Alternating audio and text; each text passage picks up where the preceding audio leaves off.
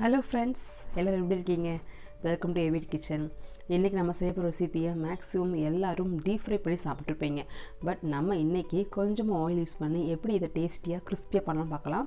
அது மட்டும் இல்லாமல் இந்த ரெசிபி முழுக்க முழுக்க சதவீத உணவு அதாவது பேலன்ஸ்டு டயட் சொன்ன நம்புவீங்களா? கண்டிப்பாக அது எப்படி நான் வந்து இந்த வீடியோ சொல்கிறேன் மறக்காமல் இந்த வீடியோவை முழுசாக ஸ்கிப் பண்ணால் பாருங்கள் இந்த வீடியோ பிடிச்சிருந்தா லைக் கொடுங்க. ரெசிபி ப்ளஸ் இன்ஃபர்மேஷன் தெரிஞ்சுக்கணும் அப்படின்னா நம்மளோட சேனலில் மறக்காமல் சப்ஸ்கிரைப் பண்ணிவிட்டு பக்கத்தில் இருக்க பெல்லைக்கான ஆல் கிளிக் பண்ணிங்கன்னா நீங்கள் எல்லா வீடியோ பார்த்து என்ஜாய் பண்ணலாம். நிறைய விஷயம் தெரிஞ்சுக்கலாம். ஓகே ஃப்ரெண்ட்ஸ் நான் இன்றைக்கி இந்த கப்பில் ஒன்றரை கப் பச்சை பயிர் எடுத்து ஊற வச்சுருக்கேன். கிட்டத்தட்ட ஒரு த்ரீ ஹவர்ஸ் ஊற வச்சு எடுத்துருக்கீங்க. ஊற வச்ச இந்த பயிரை வந்து நல்லா க்ளீன் பண்ணி ஒரு கடாயில் போட்டு பத்து நிமிஷம் வேக வச்சு எடுத்துக்கலாம்.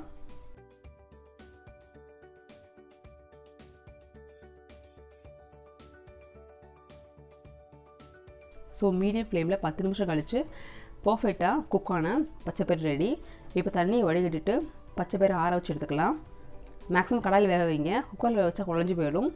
உங்களுக்கு கொஞ்சம் ஈஸியாக செய்ய வராது ரெசிபி ஓகே இப்போ இதை ஆறிடுச்சு. ஒரு ட்ரை மிக்சி ஜாரில் ஆற வச்ச பச்சைப்பயிரை போட்டுக்கிறேன். இது கூட ஒரு நாலு ஏலக்காய் போட்டுக்குங்க. முக்கால் கப் வெள்ளம் போட்டுக்குங்க. அது கரெக்டாக இருக்கும். இது கூட ஒரு கால் கப் காய்ந்த தேங்காய் தூள் சேர்த்துக்கிறேன். உங்களுக்கு தேவைப்பட்டால் ஃப்ரெஷ்ஷான தேங்காய் சேர்த்துக்கலாம். இது கூட ஒரு கால் டீஸ்பூன் உப்பு போட்டுக்கோங்க. நல்லா மிக்சியில் அடித்து எடுத்துக்கோங்க. இப்போ இந்த அடித்து எடுத்த மிக்சிங்கை வந்து ஒரு பவுலில் மாற்றி நல்லா மிக்ஸ் பண்ணிவிட்டு குட்டி குட்டி பால்ஸாக மேக் பண்ணிக்கோங்க.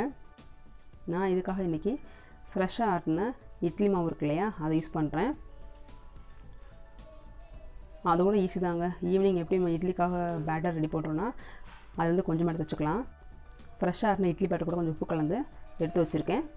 நம்ம இங்கே டிப் பண்ணி எடுத்துகிட்டு பனியார் கூலியில் ஒரு கால் கால் டீஸ்பூன் எண்ணெய் ஊற்றிட்டு இந்த சுசியத்தை போட்டு எடுத்துடலாம். நான் இது ஒரு பேலன்ஸ்ட் டயட்னு சொன்னேன்.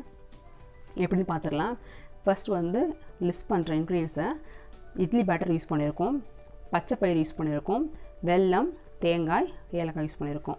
அது மட்டும் இல்லாமல் கடலெண்ணெய் யூஸ் பண்ணியிருக்கேன். அன்றைக்கி வந்து முடிஞ்சளவுக்கு கடலெண்ணெய் யூஸ் பண்ணுங்கள் ரேட் வைஸ் பார்த்தா கூட ரிஃபைண்ட் ஆயிலும் கடலெண்ணையும் கிட்டத்தட்ட சேம் ரேட்டு தான் இப்போ வருது.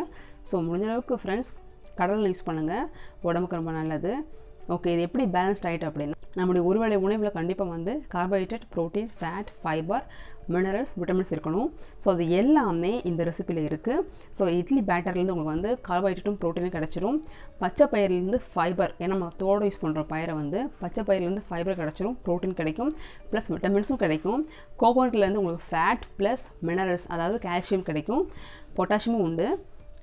ஃபைனலாக வந்து நம்ம யூஸ் பண்ண கடல் எண்ணெய். நமக்கு தேவையான ஃபேட்டும் அதுலேருந்து கிடச்சிரும். இந்த அளவுக்கு ஹெல்த்தியான ரெசிபி அதுவும் கொஞ்சம் ஆயில் யூஸ் பண்ணி எப்படி பண்ணலாம் பார்த்தாச்சுங்க. இந்த ரெசிப்பியை நீங்கள் தாராளமாக குழந்தைகள்லேருந்து பெரியவங்க வரைக்கும் பிரேக்ஃபாஸ்ட்டுக்கோ இல்லை ஸ்நாக்ஸ் டயத்துக்கோ வந்து ப்ரிப்பேர் பண்ணி சாப்பிட்லாம். அதுவும் குழந்தைகளுக்கு உடல் வந்து நல்ல வலு கொடுக்கும். தேவையான அளவு வெயிட் போடும் உடம்புக்கு. ஸோ ஹெல்த்தியான ரெசிபி முழுக்க முழுக்க இந்த ரெசிபி செஞ்சு பாருங்கள் மறக்காமல் உங்களுடைய கமெண்ட்ஸை கமெண்ட் செக்ஷனில் பதிவிடுங்க.